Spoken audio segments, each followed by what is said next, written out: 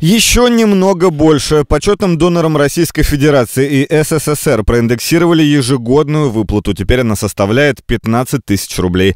В Московской области доноров, получивших звание почетный, свыше 20,5 тысяч. Более 800 из них – воскресенцы.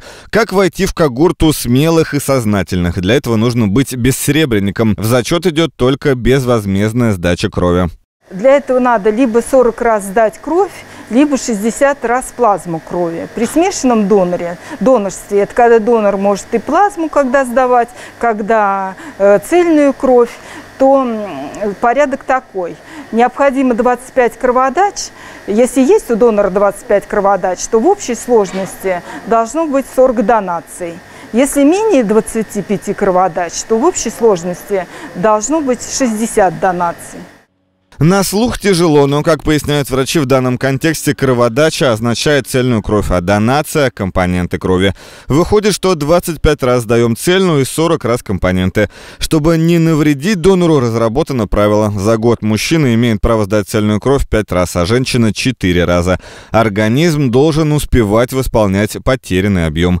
Перед процедурой необходимо соблюдать диету. Ряд правил. Список довольно обширный, назовем лишь основные рекомендации. Нельзя употреблять алкоголь.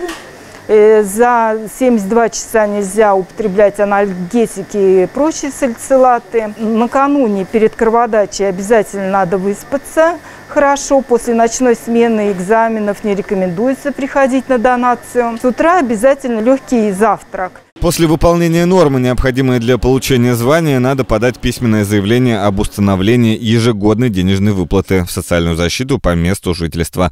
Выплата будет начислена в течение 10 дней. Кроме того, почетные доноры имеют право получения ежегодного отпуска без соблюдения графика, первоочередное право на льготные путевки, а также право на получение медицинских услуг вне очереди в любых организациях здравоохранения. Александр Иванов, Дарья Новосельцева. Новости Искровект.